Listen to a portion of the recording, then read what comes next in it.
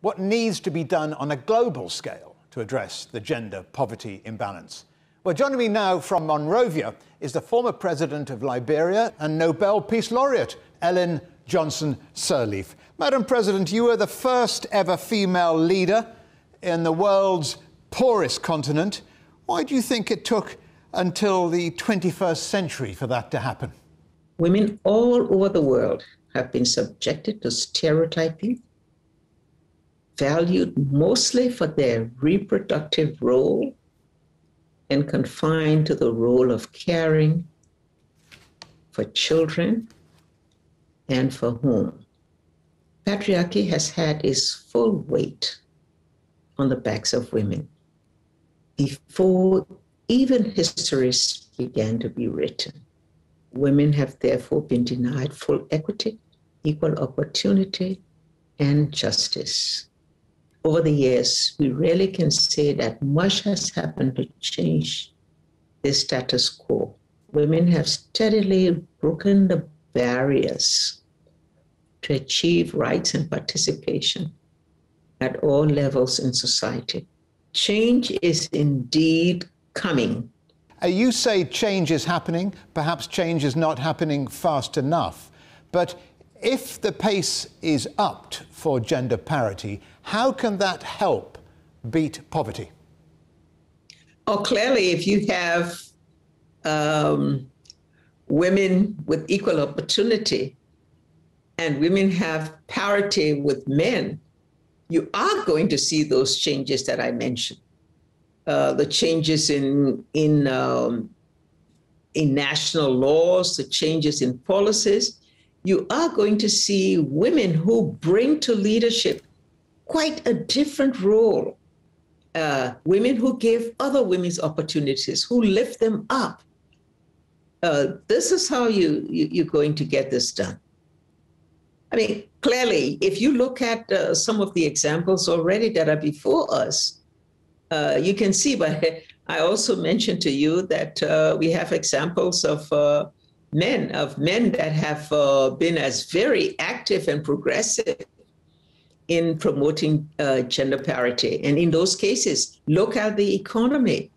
look at how those economies grow. Look at how well in some, in many cases, uh, that also enhances the processes of democracy. Democracy enhances participation of women.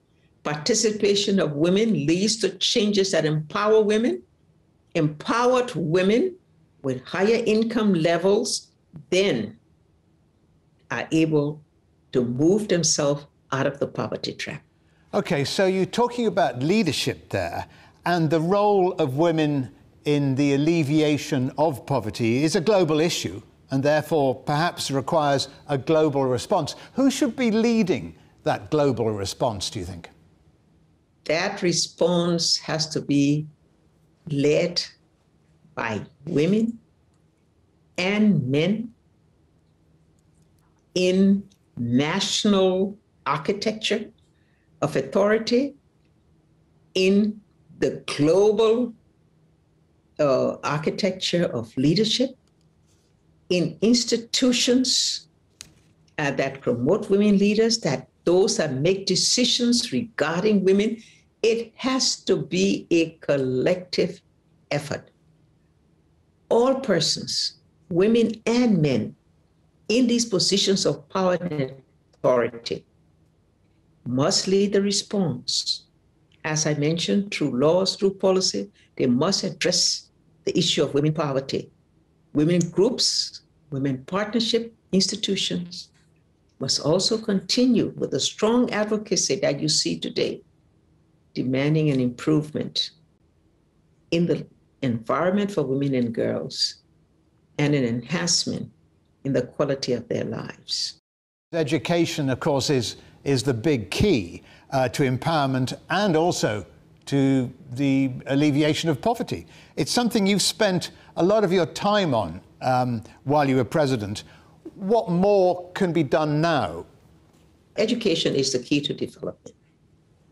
And there have been tremendous progress all over the world. The quality of education, particularly for the poorest nation has declined in large measures recently, perhaps due to reliance on social media for important information that would otherwise require evidence based academic knowledge. We also say that national educational systems need improved programs for reading because we have found that again, with so many diversions to other means of obtaining information, uh, reading in schools at the level required for knowledge have also, have also declined. We need those systems that will emphasize digitization for today's technological age. Our youth in Africa, representing the largest percent of the population, need to also be supported, greater effort, so that they become technological ready for in a competitive world. Ellen Johnson Sirleaf, many thanks to you for joining us for this special program.